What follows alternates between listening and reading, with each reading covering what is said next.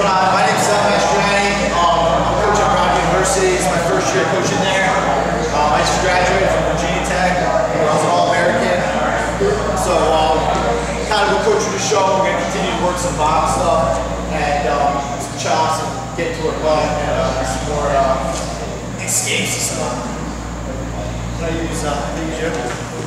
So, alright, so continue with the kind of the chop. So, one thing I like to do if I know a guy's a chopper, and you know he's kind of hard to beat off the whistle, so he's on top of me, and you can kind of feel it. He goes to chop me, I'm bringing my hands with me.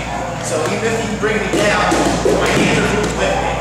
So he goes to chop, I'm bringing my hands with me, and then once I have my base, I'm gonna knee slide, come up to my feet.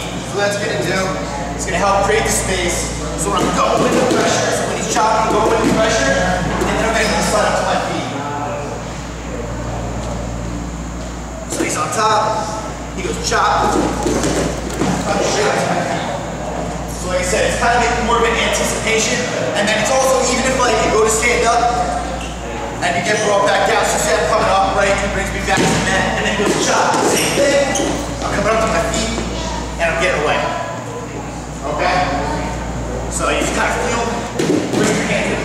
Now another one, this one's kind of, uh, a little more of a harder feel, but if you get the hang of it, it's pretty good. Same kind of situation, anticipating the chop. So he goes to chop me, right? I'm my arm out. So you can kind of feel it in a guy's stance kind of when they get on top. Usually they have their hand a little further across, elbows kind of wrenched in a little bit. So what I do is, I'm gonna let my, go, this way. So I'm gonna kind of lift my arm, so I'm kind of letting him pull, like when he's going to chop me. My hand's gonna slide on my butt, back out, right? And then create space and come right up to my feet. So he goes to chop me, coming up to my feet. Yeah, now. Like I said, it's more of an anticipating, feeling the guy kind of on top of you. So one more time. So he's on top, goes chop, there, like warming out, coming straight to my feet.